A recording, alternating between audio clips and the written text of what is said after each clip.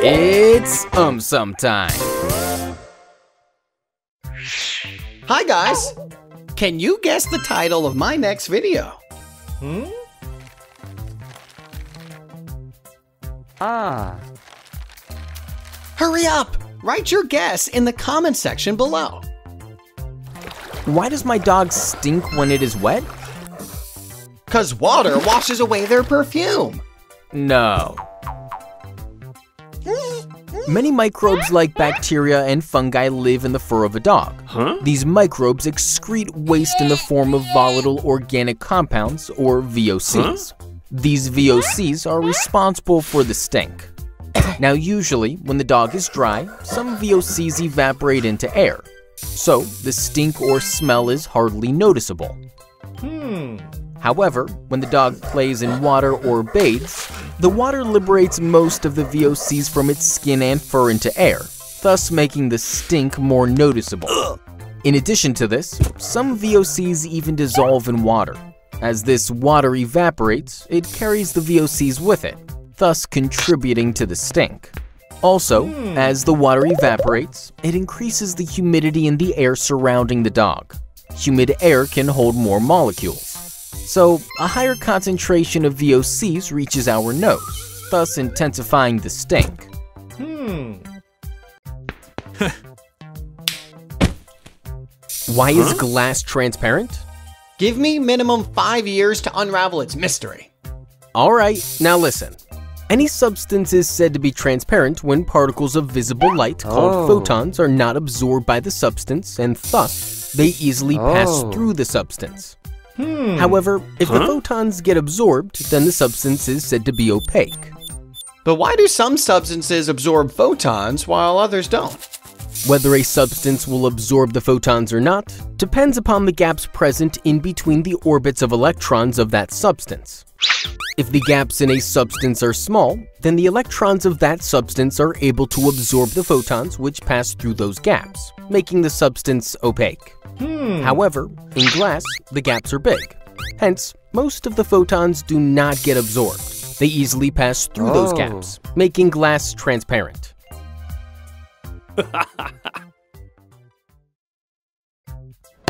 Is antibacterial soap bad for you? Nope, it's not at all bad. As usual, you are wrong. Ah. Antibacterial soaps claim that they destroy or remove more germs or bacteria as compared to regular soaps. However, this is not completely true. Antibacterial soaps contain oh. various chemicals such as triclosan and triclocarban that actually don't do hmm. any benefit, but instead they harm us. Oh, stop bluffing. Please listen. Long-term exposure to triclosan can create antibiotic-resistant bacteria or superbacteria. How is that possible? When we use antibacterial soaps that contain triclosan, they may kill oh. most of the bacteria present on our body, but the remaining ones that survived could divide and pass on the resistance to other bacteria, thus creating superbacteria which are more difficult to kill. Besides this, as triclosan penetrates Ah. the skin, it can also cause various health problems. Hence, it is advised to use regular Oh. soaps. Hmm. Topic Surface tension.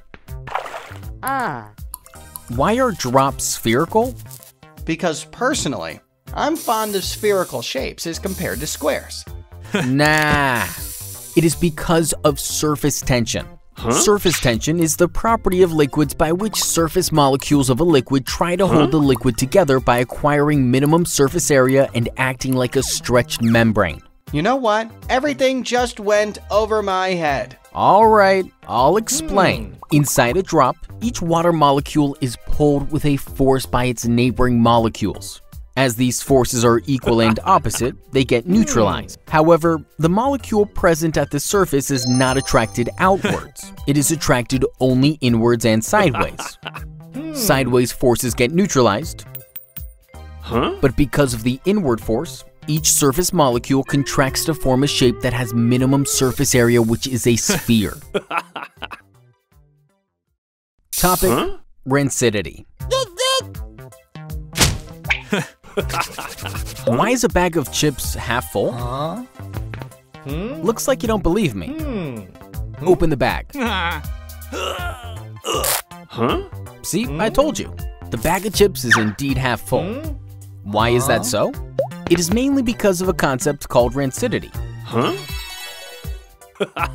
When food becomes rancid, it develops an unpleasant smell and taste and it becomes unsafe for consumption. Rancidity generally refers to a condition where the fats and oils present in food get oxidized, resulting in food spoilage. Hmm. Since the chips contain fats and oils, they are likely to get rancid. Therefore, to prevent this, nitrogen gas is flushed into bags of chips by manufacturers. But why nitrogen? Nitrogen does not react with fats and oils. As a result, rancidity does not take oh. place. Moreover, a gas in the bag serves as a cushioning agent and prevents the chips from crumbling. That is why the bag of chips is only filled till half.